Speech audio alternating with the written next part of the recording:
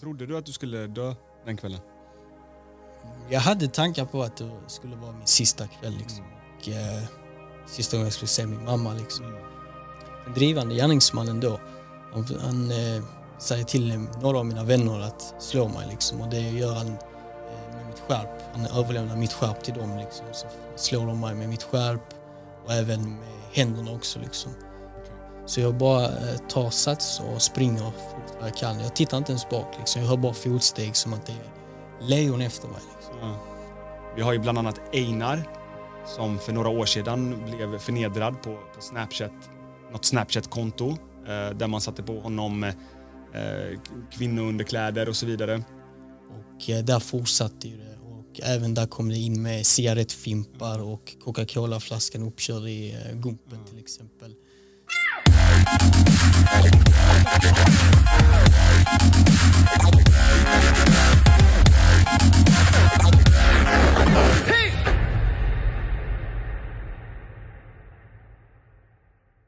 Välkommen tillbaks till The Clue News Show. Idag har vi med oss Kenny Friberg. Tack så mycket. Eh, och jag, jag satt på Facebook för några dagar sedan och jag ramlade över ett klipp som berörde mig väldigt, väldigt mycket. Det var ett klipp på dig ur eh, en dokumentär tror jag. Ja, det stämmer. V- v- v- vad hette de som gjorde dokumentären? Eh, Exakt 24. Okej, ja. Så jag, jag såg eh, den här dokumentären eh, och där fick man ju reda på att du 2017 blev förnedringsrånad. Eh, det här berörde mig sjukt mycket. Eh, så jag skickade det här klippet till min fru och min fru sa till mig du måste söka upp den här killen. Du måste göra en intervju med honom. Eh, så nu sitter du här. Eh, vilket är väldigt spännande för att jag har ju väldigt länge intervjuat enbart kända YouTube-kreatörer och influencers och så vidare. Men jag har också väldigt länge sökt efter människor som har en väldigt gripande historia, eh, både positiv som negativ. Eh, så om det är någon där ute som har en historia som man skulle vilja berätta så får man väldigt gärna höra av sig. Men just när det kommer till det här förnedringsrån och så vidare så är det ju någonting som har växt i raketfart här i Sverige. Vi har ju bland annat Einar som för några år sedan blev förnedrad på, på Snapchat, något Snapchat-konto eh, där man satte på honom eh, kvinnounderkläder och så vidare. Och du har ju som sagt varit med om något liknande. Mm. Eh, så jag bjöd in dig här idag för jag skulle vilja höra din historia på nära håll. Liksom. Hur, hur, eh, hur, hur det gick till och, och ja för, för i min värld så kan jag inte förstå hur man kan göra en sån här grej. Liksom. Att liksom slå någon och förnedra någon och sen liksom lägga upp det här på sociala medier. Um, jag, jag tycker det är hemskt. Liksom. Och, och vi, vi är ju också i en, eh, i en vrickad värld just nu där man kan också se andra kända profiler som har gått ut på eh, olika livestreams och sagt att de ska ta livet av sig där publiken sitter och hetsar till att man ska göra det. Så att jag tror också att människor som följer de här kontona inte riktigt förstår att det här, det här är verkligheten. Men du i alla fall, du, eh, du blev ju misshandlad i väldigt många timmar, eh, också sexuellt utnyttjat. utnyttjad. Ehm, om vi tar allting från början då. Hur, eh, vad hände den här kvällen? Den kvällen, det var ju en kväll som eh, jag hade stökigt hemma och eh, så valde jag att dra ut på kvällen. Mm. Eh, så blev det ju en samlingsplatsen borta vid Österport, Karoli. Och där brukar vi vara runt 15-20 personer. Men just den kvällen var vi bara fyra stycken. Det är Malmö alltså? Ja, det är Malmö. Eller utanför Malmö? Eller Nej, i Malmö? i Malmö. I Malmö, okej. Ja. Och där var vi eh, ja, fyra stycken och eh, umgås. Det var ju liksom en, en samlingsplats för ungdomar. Liksom. Så när vi var där så eh, kom det fram två stycken som jag inte kände igen sen tidigare. Liksom. Och sen kom den ena personen kom på sidan så tycker jag att jag började känna igen han. Och då när vi kom och ska hälsa på varandra så eh, sitter jag på en cykel. Och då eh, när jag ska räcka fram min eh, hand liksom, så får jag ett slag i huvudet. Liksom. Och då faller jag ner på marken med cykeln på mig. Liksom. Och eh, jag reser mig upp så, så, så halvsnabbt liksom. och sen säger han till mig att jag är skyldig han 30 000 kronor. Och då samtidigt när han säger det så tar han upp en pistol. Och sen mina vänner liksom, de han inte riktigt reflektera över det, det gick ju snabbt liksom. Så att eh, det blev liksom en sån blick liksom. Att de, alla blev stela liksom. Det är såklart när det kommer upp ett vapen också liksom. Men eh, var det här någon du kände sedan tidigare eller var det helt oprovocerat? Liksom? En av dem kände jag sedan tidigare, eh, som gick samma skola. Okej. Hade ni någon beef i den här skolan? Brukar ni bråka på rasterna eller ogillade han dig på något sätt eller varför, varför tror du att han hoppar på dig den här kvällen med sina vänner? I skolan hade vi inga beefs, hade vi inte. Och eh, utanför, vi hängde inte utanför, men vi hängde på rasterna gjorde vi. Mm. Men eh, nej, inte vad jag vet. Nej. Eh, vad hände sen? Sen kom ju liksom det med pistol i munnen liksom och slag med pistolen och sen hans andra vän letade igenom eh, mina fickor och min väska hade på mig. Och det kom ju ännu mer fula ord liksom och förnedringsord och även eh, den metoden att jag skulle klä av mig och sen klä, upp, mm. äh, klä av mig och klä på mig igen. Mm. Liksom. Det, blev, det var nog några gånger liksom så. Och sen var det ju, det var ju fullständigt våld hela tiden. Det var ju inget uppehåll liksom. Det var ju hela tiden ord, slag. Men det, det fanns ingen, eh, inget tillfälle att, eh, att dra därifrån eller liksom springa och, ja i och för sig pistolen är ju där. Mm. Man är ju rädd för pistolen såklart. Mm. Uh. Nej men det fanns inga, inga tillfällen liksom. Och sen mina vänner liksom de stod fortfarande och kollade på när det här hände. Ja. Liksom. Och det var ju två pers mot mig ja. under den tiden. I, I den här dokumentären som du medverkar i så säger du också att dina vänner blir eh, tvingade att misshandla dig också mm. under pistolhot. Mm. Vad hände där? Alltså, den drivande gärningsmannen då, han, han eh, säger till några av mina vänner att slå mig liksom, och det gör han eh, med mitt skärp. Han överlämnar mitt skärp till dem liksom, så slår de mig med mitt skärp och även med händerna också liksom. Så eh, och jag vet inte varför, varför de valde att slå mig men det kan ju vara att de är rädda liksom, i och med att det är ett vapen inblandat. Har, har, du, har du tänkt på det i efterhand, liksom så här, varför valde de mig, varför tog de inte en av dina andra kompisar till exempel, förstår du vad jag menar? Mm. Uh. Den frågan har jag liksom tänkt på under alla åren faktiskt. Mm. Men eh, det finns ju olika perspektiv, det finns det på eh, själva historien, mm. liksom en från polisens sida och en från min sida och sen en från min familjs sida. Så det finns ju tre olika perspektiv. Mm. För innan också när du kom hit eh, så googlade jag lite efter eh, incidenten, vad har hänt och så vidare för att jag ska veta vad jag ska ställa för frågor och sånt. Mm. Eh, och lite som vi pratade om innan när du kom så hittade jag en Flashback-tråd eh, där det var någon som menar på att eh, du sålde ladd eller någonting vad, vad kan ladd vara, amfetamin eller någonting. Eh, och, och, och, att det var därför du hade skulder då till de här, att det var därför de hopp, hoppade på dig. Eh, jag tvivlar inte på din historia, men jag tänker att eftersom att det finns människor där ute som tvivlar på din historia mm. så tänker jag att då kan du få chansen att och, och liksom svara på, på de ryktena. Vad, eh, finns det någon sanning i de ryktena överhuvudtaget? Liksom? Alltså ladd, det är ju kokain. Okej, okay, kokain. Ja, sorry, sorry. Jag är inte så inne i drogvärlden. det är lugnt, det är lugnt. Nej, alltså jag, jag själv har jag aldrig hållit på och sälja liksom. Nej. Det har varit mer då eh, stöld, butiksrån, ja. liksom, bilbränder. Men det har inte varit att sälja. Men jag vet att en av min familj, eh, familjemedlemmar ja. som har stått mig närmast, de hängde också på den skolan. Han höll på att sälja liksom. Så okay. har jag hjälpt han att äh, vet du det, levererat det men inte alltså, sålt det på eget, liksom, eget bruk. Att jag köpt in själv, det har jag aldrig gjort. Um, det är ju den spekulationen som finns på att det kan vara min en, en av ja. mina familjemedlemmar och sen finns det ju en som polisen gjorde, det är att, att de har valt ut mig som ett lätt offer som mm. media har beskrivit det idag liksom.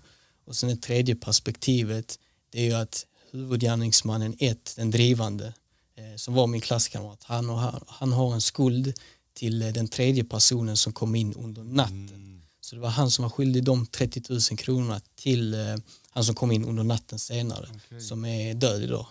Oj, vad hände, vad hände där? Eller vet du det?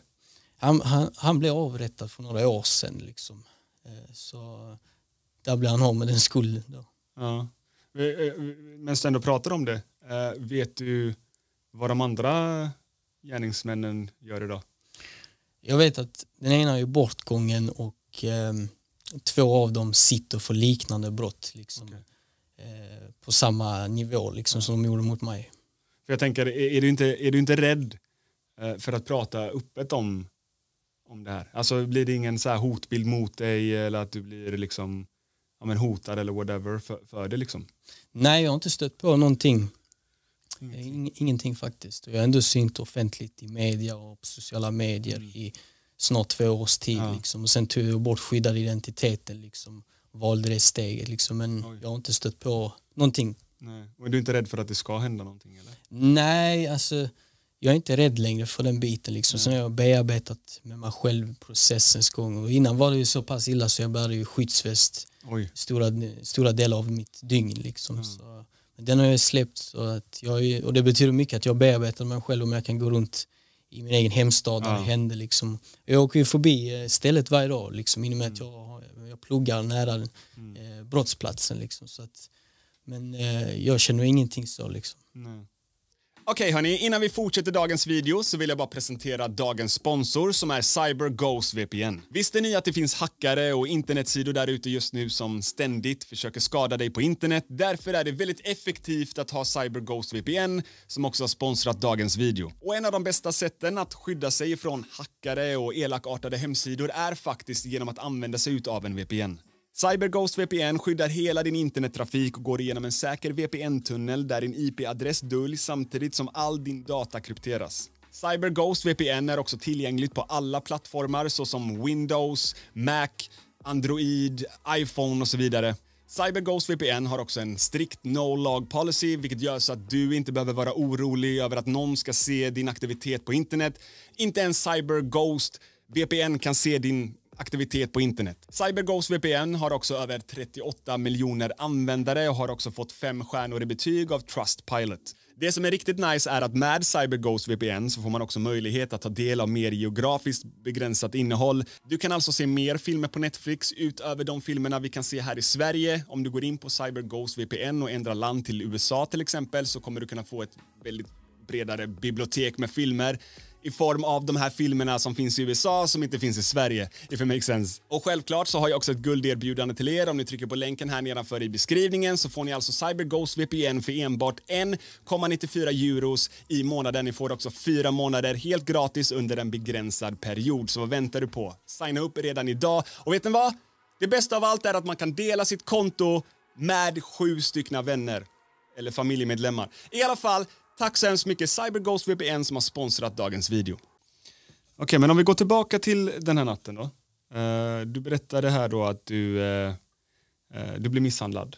Eh, du får ta av dig dina kläder, du får sätta på dig dina kläder fram och tillbaka liksom. Eh, f- fick du ta av dig helt naket eller fick du ha kalsongen kv- kvar liksom? Eller? När det var helt naket. Helt naket. Och de filmade detta då eller? Ja, de, vad jag kommer ihåg så vet jag att det kommer en film kommer jag ihåg som spelades in, det är med pistolen i munnen. Sen har jag inget minne av då, att om, de- tog bilder eller Nej. en till film. Det ryktas att det ska vara en till film men eh, det är inget som polisen har fått fram eller som eh, andra har hittat och skickat till mig, ingenting. Varför tror du att man, att, att man filmade alltihop? Liksom? Det är mer som en statusgrej då. Det går ju snabbt på sociala medier att bygga ett namn och rykte. Så att jag tror det är mer, kom inte här och mucka med mig. Liksom. Så det blir som en status. Varför tror du folk eh, vill följa sådana här konton överhuvudtaget? Ja, jag ser en trend som, eh, som ägs på TikTok och andra sociala medier. Att det är en trend att följa konton som är med gangsterlivsstilen och även folk gillar ju liksom drama och när det går hett till liksom. Men jag ser väldigt få liksom människor som eh, följer bra saker. Det är mest gangsterlivsstilen, gangstermusiken liksom. Så det blir ju, det blir hoppat över snabbt till den trenden att man vill, man vill se våld istället. Okej, men om vi, tog, om vi går tillbaka till natten då. Ehm, vad händer sen? Alltså efter att du blir, eh, får ta av dig kläder, sätta på dig kläder, du har blivit slagen och så vidare. Eh, vad, vad händer sen?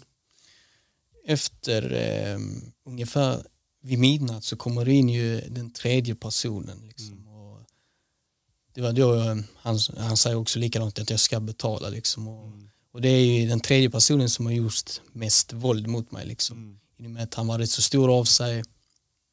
Så, men han var där bara några timmar, sen, eh, sen eh, cyklade han bort. Liksom. Sen minns jag inte om han kom tillbaka eller något sånt senare. Eh, För att jag stängde av mina känslor helt så liksom. Jag kände ingenting till slut. Eh, Jag var inte lika medveten om det liksom. Jag stängde in mig i en typ eh, zon där jag ville bara överleva. Mm. Liksom. Eh, Trodde du att du skulle dö den kvällen? jag hade tankar på att det skulle vara min sista kväll liksom, Mm. och eh, sista gången jag skulle se min mamma. Liksom. Mm. Eh, Men jag stängde in mig så pass att jag eh, filtrerade bort smärtan och Mm. allting. Liksom. Okej, vi kommer in hela tiden på mycket sidospår här, men det är bara för att det är så intressant i, i berättelsen. Men om vi går tillbaks ännu en gång till, till kvällen. Eh, du nämnde någonting att det var åtta tiden på kvällen någonting? Nio till. Nio tiden. Eh, var, var det inga människor ute? Var det ingen som kunde liksom, eh, skrämma, skrämma bort dem eller, eller ringa polisen eller någonting sånt? Liksom? Nej, alltså själva Österportskolan eh, vid Karoli i Malmö så är den skolan, alltså den är typ byggd som en skolåda liksom. Så det finns bara två utvägar och det är ju längre bort. Sen är det ju som en fotbollsplan liksom så att det ekar mest och det stannar kvar där. Men det kom ju in en människa med hund och bara tittade liksom så snabbt vad som hände och sen gick vidare. Eh, ingenting mer. Men så samtidigt när hon lämnade så kom det ju eh, kom gärningsman etten drivande och sa vi, vi förflyttar oss Okay. eh, till eh, lite längre bort och då gick ju vi över knappt, vad kan det vara, andra sidan kvarteret bara in på en annan liten port. Och eh, där fortsatte ju det och även där kom det in med cigarettfimpar och Coca-Cola-flaskan uppkörd i eh, gumpen till exempel. Så det hände ju, hände ju lite mer grejer eh, på den andra eh, kvarteret. Så de fimpade alltså cigaretter på din hud då eller? Mm. Och sen eh, tryckte upp en colaflaska. Ja. Fy fan. Men eh, och, och, i den här dokumentären så nämnde du också nå- någonting att när, när du ligger där naken så, så knäcker de reben på dig också. Mm. Eh, vad, vad hände där? Var det sparkar, var det slag? Var, var- det fortfarande på skolan eller är det efter när jag förflyttat er? Eller? Jag knäckte ju tre till fyra reben, sen kom ju gärningsman tre in i bilden. Och det var han som sparkade på mig när jag låg ner. Men jag kände inte det knäcka till liksom. Det, jag kände det senare liksom. Du kanske hade så mycket adrenalin just då? Liksom. Precis. Och jag stängde in mig, liksom, som jag Ja. sa tidigare, liksom, att jag stängde in mig och jag ville bara överleva den Ja. dagen. Men så väljer ju gärningsman ett att vi skulle gå vidare till en annan port. Liksom, innan Ja. det hade kommit in folk sen tidigare, liksom, en som hade bara gått förbi. Liksom. Så eh, väljer jag att sk- skri- skriva ett snabbt sms Mm. till min mamma att jag älskar henne så mycket. Liksom. Det, Men, men får, får du det för gärningsmännen? De- Ser, ser, de att du, att, kan, alltså ser de att du tar upp din telefon och så menar jag? Nej. Nej, de ser inte det. Det här gör du smyg liksom. Ja, alltså de, de går bredvid mig, eh, Ja. eller bakom mig. Mm. när, eh, eh, när vi ska gå till den andra porten. Mm. Så jag gör det liksom. Och de, dessa gärningspersoner har ju rökt eh, en antal holkar där Ja. inne och så, så att de är ju rätt bort. Och mina vänner går samma, de går bak. Ja. Så jag går ju först. Men sen har ju eh, pistolen tryckt mot ryggen så att eh, han ser ju inte Nej. mina händer så liksom. Och, på det, och då hade jag vanlig, eh, vanlig telefon, liksom knapptelefon då. Men, men när du hade chansen att skicka ett sms, Mm. eh, varför skickar du inte smset liksom ring 112, hjälp mig, eh, jag är i fara. Förstår du vad jag menar? Mm. Eh, är man så rädd i den stunden att man liksom man vågar inte skriva just en sån grej eller, eller va, va, varför liksom Alltså jag skickade iväg det för att för alla fall min mamma skulle ringa så har jag avslöjat det också. Och sen var det mest att om jag inte överlever så vill jag ändå att hon ska ha det sista smset för mig. Men min mamma tyckte det var konstigt när hon fick det för att jag har alltid haft svårt med känslor och så. Mm. Så hon reagerade men hon gjorde ingenting åt saken. Liksom. nej. Så, eh, så mm, jag vet inte om man kunde gjort annorlunda om vad som kunde hänt om jag hade skrivit någonting annat. Men jag ville bara säga till min mamma att jag älskar henne. Liksom. Mm. Men när du är, när ni har förflyttat er Mm. eh, så får man också reda på i dokumentären att eh, du får en colaflaska eh, uppkörd i, i rumpan då. Mm. Eh, och du blir även bränd med cigarett, cigarettfimpar Mm. mot huden och sådär. Mm. Eh, är det här någonting som pågår länge här vid, vid trappen eller, eller? Det på, på eh, under eh, eh, några antal timmar till. Eh, fast på skolgården var det lite mildare men sen kom ju det där med colaflaskan och eh, cigarettfimparna inne på den port eh, man kan säga det är en portgård. Och det var där det hände mest grejer där inne. Filmade de det här med colaflaskan också? Det har jag ingen aning om, men det, vad jag vet så är det bara ju den ena, det finns en film och det är ju Ja. med den pistolen i munnen. Ja, Okej. Ja, för i, I den här dokumentären så vet jag att du sa att det fanns tre filmer. Tre korta filmer. Har tre korta filmer i polisutredningen Ja. som eh, min syster har tagit fram och sen Ja. polisen har tagit fram. Men de är ju på eh, frekvenserna på skolgården liksom. med Okej, okej, ja, men då hänger jag med. Ja, det är därför jag frågar hela Ja. tiden. Var den här grejen med på, på Snapchat? Eller sådär, fattar du? Ja, det är tre olika från eh, med pistol i munnen där jag säger olika saker som han vill att jag ska säga och sen eh, några som eh, jag inte säger någonting alls på. Så det är tre frekvenser. Okej. Eh, för, för, för där vet jag också att på Flashback, ännu en gång, ehm, så, så var det någon som skrev att om de kollar igenom dina fickor och du skyllde pengar, varför tog de inte din mobil? Eh, den mobilen jag hade på den tiden, det var ju bara en knapp. Ah. I och med att jag hade sabbat mina andra telefoner. Okej. Liksom. Okej, men eh, vi, vi, nu, nu är vi liksom på det förflyttade stället, du har, du har skrivit sms till din mamma och så vidare.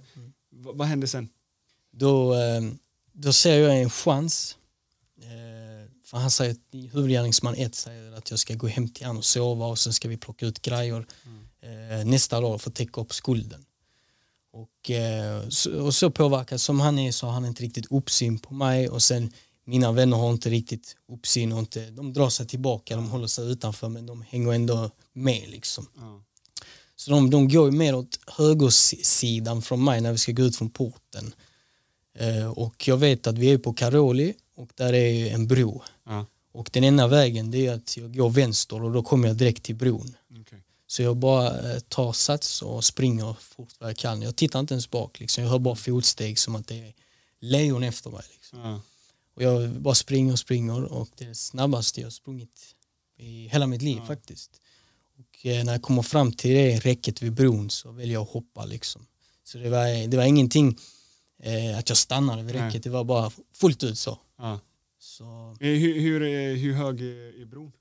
Den är några meter ner. Ja. Liksom jag, kanske, jag kan inte säga riktigt men kanske tre, fyra, någonting sånt. Alltså, det är rätt så lågt ner till vattnet ändå. Liksom. Och vilken tid på natten är detta? Detta är runt fyra, fem tid. Fyra, fem, ja. Mm. Jag vet inte om vi har sagt det i början på videon, det kanske vi har gjort, eh, men hela den här misshandeln pågår ju i fem, sex timmar någonting. Sex timmar. Sex timmar. Eh, så att det är en väldigt lång process alltså. Mm. Det är en väldigt, väldigt lång process och jag kan tänka mig att det är väldigt mycket trauma att gå igenom en sån här grej alltså. Mm. Eh, Men du hoppade i vattnet i alla fall. Eh, Och som jag har förstått det när jag kollar på dokumentären så är det lite grann din räddning. Det är någon som hör att du hoppar i vattnet eller Mm. någonting. Ja, det är ju en, en privatperson som står på balkongen. Ja. Eh, Och det är ju, visar sig vara en, en polis ur tjänst. Liksom. Okej. Så han ringer in och säger att det ligger någon i kanalen. Och då eh, efter, jag låg i vattnet cirka 10-15 minuter Ja. och då står mina vänner och gärningsman ett då. Och eh, då står de och eh, säger kom upp, kom Ja. upp, kom upp, vi slutar liksom. Jag väljer att ligga kvar. Sen kommer det en polisbil eh, på andra sidan bron och då väljer alla att springa samtidigt. Och den kör ju dit och sen hör jag bara vet du, sirener och så brandkår och ambulans och sen ser jag bara eh, springer dykare till mig liksom. Men jag hade ju ändå kunnat ta mig upp lite på ytan för det fanns ju cyklar och mopeder och så, så jag hade ändå tagit mig upp lite och simmat upp. Eh, men jag valde att stå kvar där nere fast de ropade liksom. Och sen eh, kommer dykarna ut och tar upp mig liksom och skickar in mig i ambulansen. Vad fan. Vad, vad, vad hände sen då? När du kommer till sjukhus och sånt? Liksom, vad...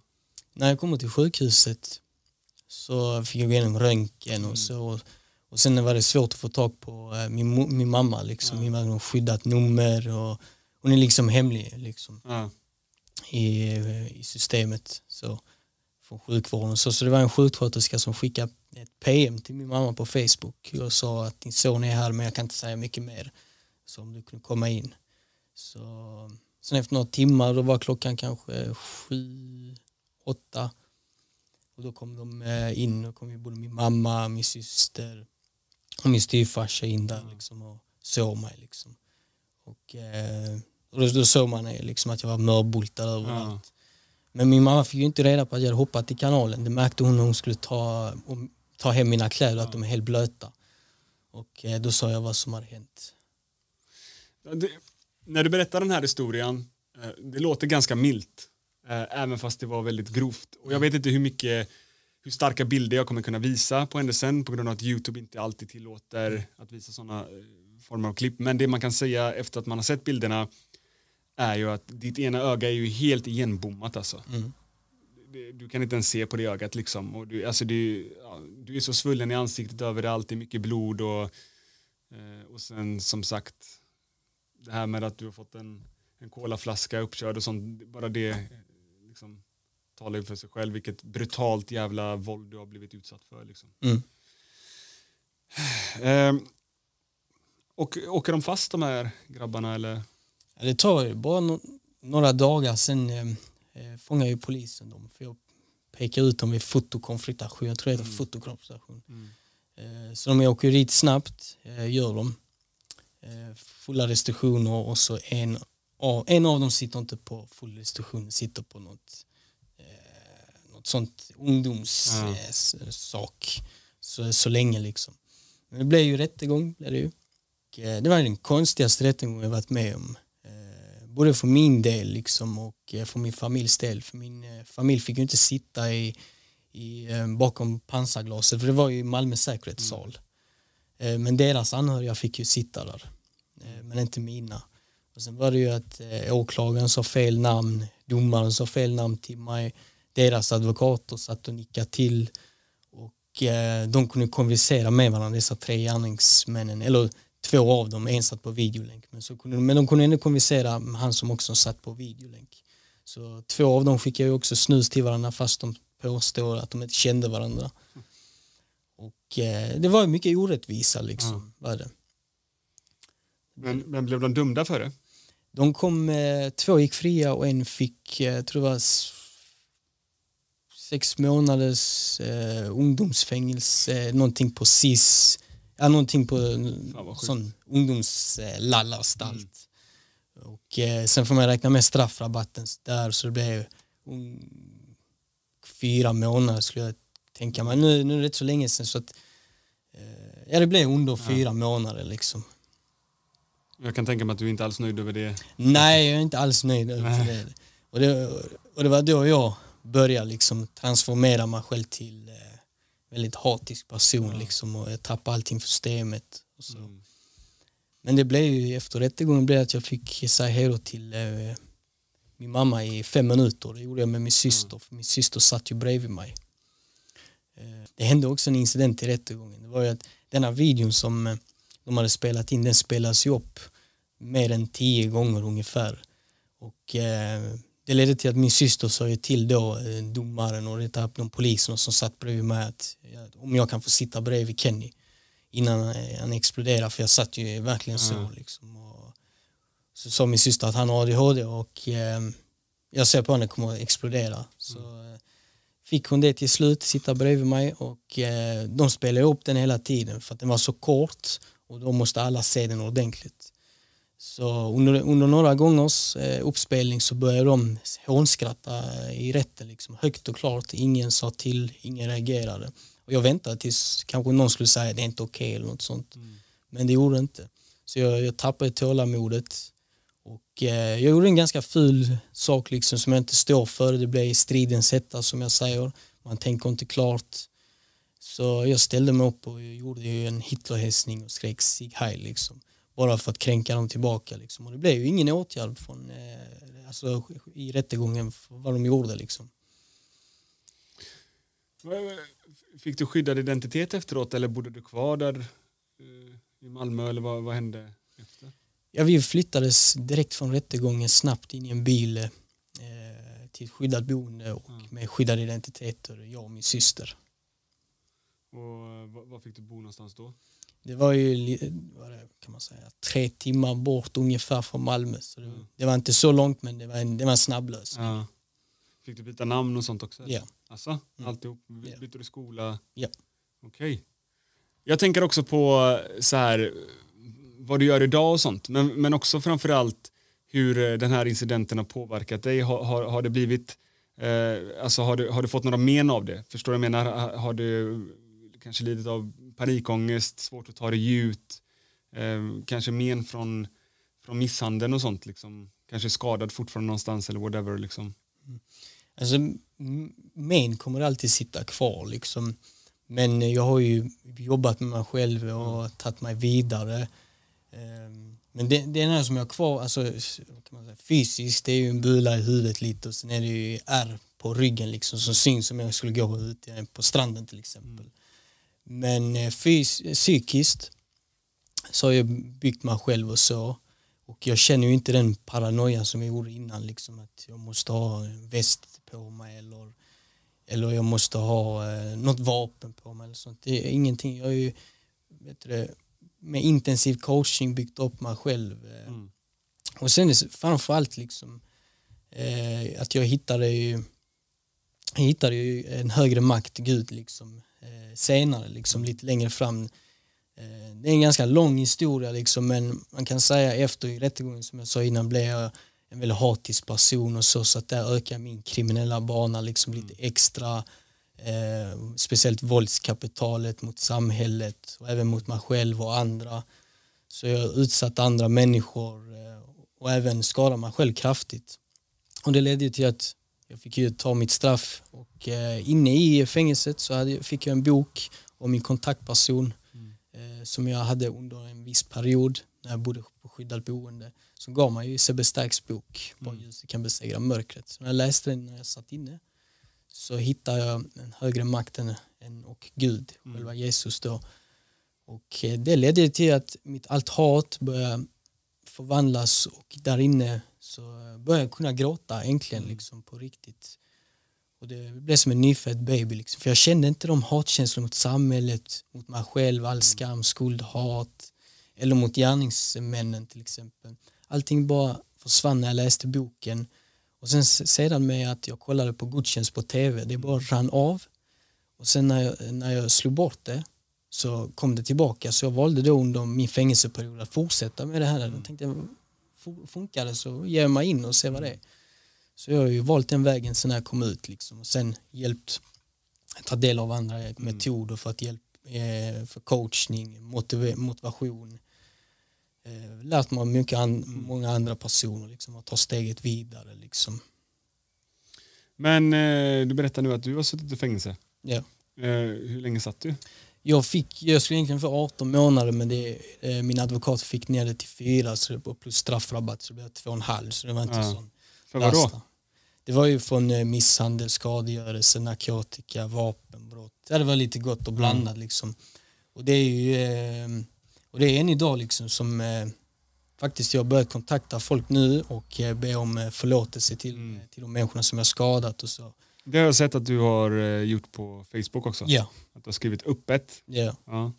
Det är fint. Ja det är en väldigt viktig del för mig och för andra liksom. Ja. Även om de inte vill ha det så tycker jag det är viktigt för, för mig och så även att de vet att de har haft det liksom. Mm. Och eh, det betyder mycket i min egen process för jag har velat göra det länge men sen har jag pratat med min pastor i kyrkan så sa han det är inte läge nu, ta det i din egen takt. Mm.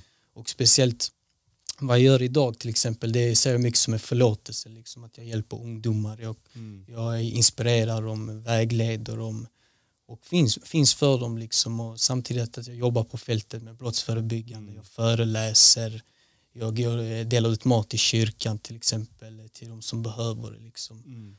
Och eh, jag hjälper mycket människor digitalt, möter upp dem och så. Så det, det var det jag ser eh, i mitt arbete som mm. en förlåtelse. Sen även för att de ska ha en förlåtelse självklart för eh, vad jag orsakat mm. mot dem. Liksom. Det är ett stort steg för mig liksom. och det blev som en, en sten. Mm. Jag skälldes bort så puff, när, när jag gjorde, gjorde det. Mm.